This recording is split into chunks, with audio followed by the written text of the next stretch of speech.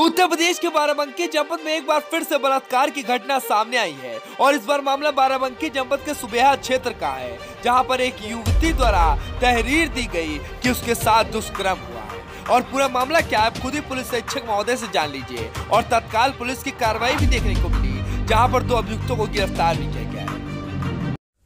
कल दिनांक 21 नवंबर 2020 को थाना सुबेहा में देर रात एक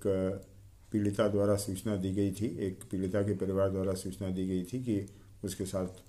कुछ लोगों ने दुष्कर्म किया है। इस आधार पर पुलिस बल तत्काल मौके पर पहुँचा और उसने दो लोगों को हिरासत में लिया, जो अस्थायी रूप से इस क्षेत्र में रह रहे थे। परिवार वालों की तहरीर के आधार पर मुकदमा पंजीकृत कर लिया गया है। पीड़िता का मेडिकल और एक सौ चौंसठ के बयान के आधार पर अग्रिम कार्रवाई की जाएगी।